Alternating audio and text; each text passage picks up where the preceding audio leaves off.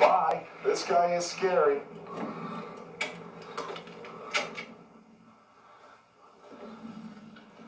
Wow. I'm not opening my window. No, I wouldn't do that either. It's just. King of the road. You lost?